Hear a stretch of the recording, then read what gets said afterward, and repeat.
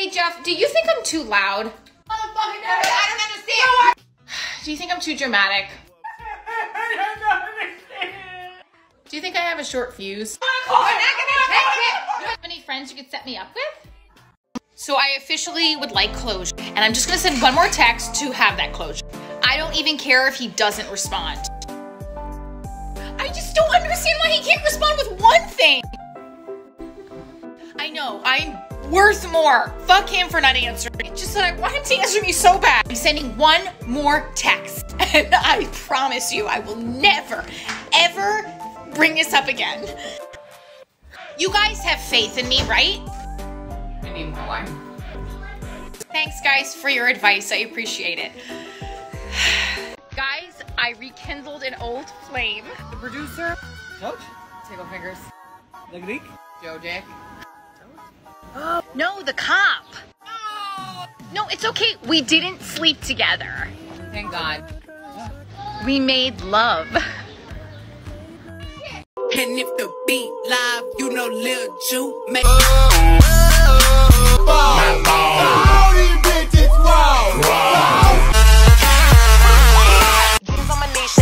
Yeah, my song. But you get it poppin', oh, My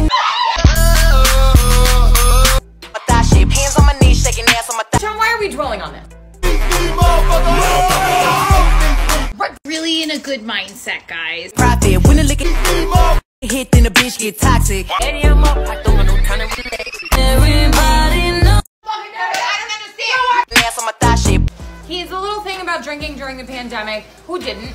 How the fuck you in the club when niggas wild? I've been lit since brunch. Lying